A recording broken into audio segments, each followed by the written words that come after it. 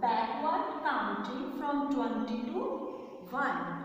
As in our previous video, we have learned backward counting from 10 to 1. Same way we will learn 20 to 1. For this, we will take help of the activity. So let's enjoy the activity. So students, I have placed number 20 to 1 here. You can draw also the numbers on the floor. So let us start 20, 19, 18, 17, 16, 15, 14, 13, 12, 11. Same way we will move from 10 to 1 in reverse counting. 10, 9, 8, 7, 6, 5, 4, 3, 2, 1.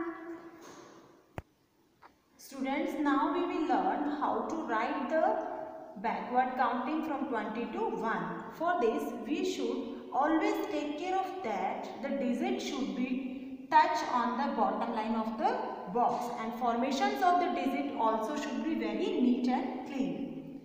20, 19, 18, 17, 16, 15, 14,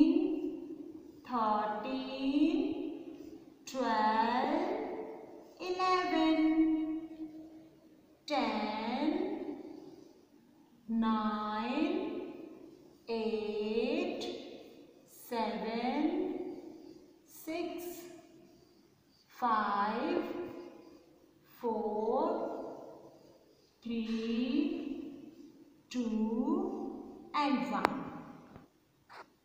Students, when you are doing math work, always use ones and tens on the top of line and keep practicing numbers at home also. Thank you.